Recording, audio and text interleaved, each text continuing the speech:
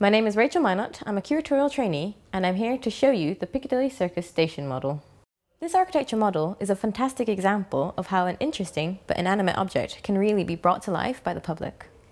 The model was made by Harold Harding and Sophie Blair Leighton in the 1920s to uh, work out the best location for the booking hall, the escalators, the tunnel, and diverted services after the area was tunnelled out. It also shows the uh, underground station layout in relation to the surface structures, most notably the Eros statue. It was part of the larger reconstruction of the Piccadilly Circus tube station between 1926 and 1929. Harding was at the time a young aspiring engineer. He would later be knighted in 1968 and be known as one of the country's leading tunnelling experts. He was responsible for building a number of the tunnels under London and was in charge of the infrastructure of the city during the Second World War. Sophie Blair Leighton, who assisted in the construction of this model, later became Harold's wife. The lovely romantic story about this particular model is that they became engaged whilst constructing this lovely piece together.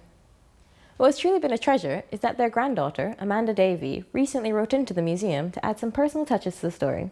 For example, the width of the model was determined by a doorway through which it had to travel during construction. But Harding and Leighton were so meticulous with their other measurements that everything else was perfectly to scale in this model.